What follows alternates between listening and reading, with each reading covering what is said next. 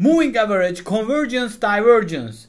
It is one of the most underrated indicator in the market. And in this video, I will teach you how you can use MACD indicator in the best way you can at your trading setups. So before we lose any time, let's jump in the video. MACD is one of the most famous indicator in the market. I know that. But the problem with the MACD is just the MACD itself lot of time can give a false signals and uh, repetitive signals like it's crossing down and after one minute it's crossing up. So it can be a very tight signals if you just use MACD alone. So in this video bear with me because I will show you how you can improve your MACD indicator with just one super powerful indicator and the best thing is you can find this indicator in all brokers all platforms. So let's dive in. And now we have MACD in my screen. As you can see here that I have already added and attached it to my chart. So now I am on 5 minutes and you can see that here we are taking buy and sell signals. Why? Because if it is crossing up we will buy. And if it is crossing down we will short it. So in this scenario we can see that there are a lot of signals and it's so much complicated and you can lose a lot of money. Because we don't know that if it is a true signal or wrong signal before the time passes. But here we got a nice cross down which means that it's a short signal. And here again we got cross up which means that it's a good buy signal. So the question is how we can improve. And my MACD settings are very simple. It's all default settings. You can see it by yourself. The fast length is 12 and the slow length is 26. So my super indicator is you will be shocked because it's so easy. It's moving average. I love moving average and it's so powerful and we will use moving average exponential. So click to add your chart and go to settings and change length to 100 because we will use 100 bar to calculate our buy and sell signals. And I will make the thickness harder because it's better for me to see. So Strategy is very easy. I will keep this video sweet and short and you will get a lot of information and ready to take action. So, if the price above the 100 EMA line, it means that it's bullish. And if the price goes below the 100 EMA line, it means that it's bearish so we can short it or sell it whatever you want to do. How we can combine with the MACD is answer very easy.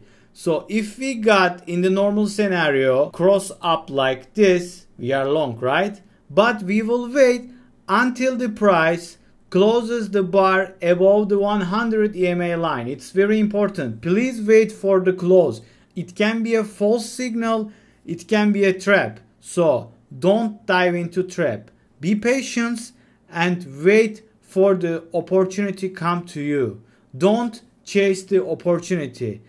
Market will give you the opportunity, don't worry. So trust my experience. So if we see the cross up above the 100 EMA line and if we see the MACD crossing up like this in this scenario, we are entering long position. And I hear the question that what is the stop loss, what is the take profit, and I will explain now. The take profit, for my opinion, you can take your profit, you can trim your position when MACD crosses down like this. So if you see a cross down and if you see that it's you know showing some bearish activity, just close out your position and sit back, relax because you are in green. And for the stop loss, if the price touches the 100 EMA line, we are out of the position. No question. Because we are using EMA line as a main uh, indicator in this scenario, not the MACD. Because the EMA lines are so powerful and it's all based on price actions. So it calculates the 100 bar before the current bar. So it's, yeah, right? It's the name itself, moving average. So we are following the moving average. So if the price touches the 100 EMA line again, we stopped out. So let's zoom in and we see that it didn't touch the 100 EMA line.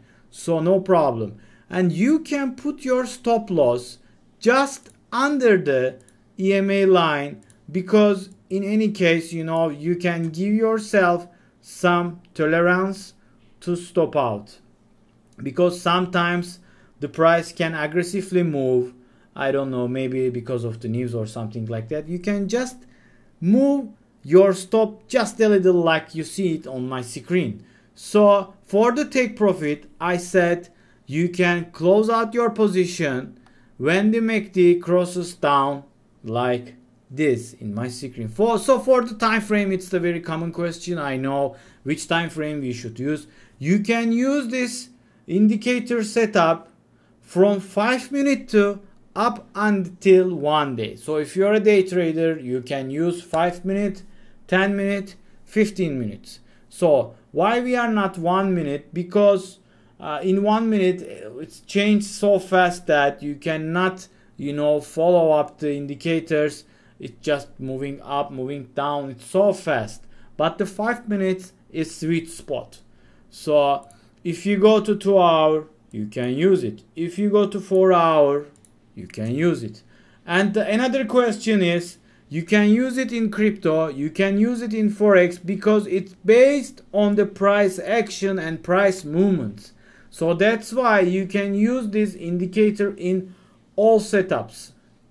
And try it yourself because some of stocks or like I don't know the gold or silver or some penny stocks cannot work perfectly with this setup. But for my experience Apple Bitcoin are working perfectly with this indicators setup. So we have EMA 100 and we have MACD and ready to go you don't need anything else so if you enjoyed this video, please hit the subscribe button because I am shooting very nice videos to help you to improve your trading career. So bear with me and don't forget to hit the like button because it motivates me a lot. And until the next time, see you soon.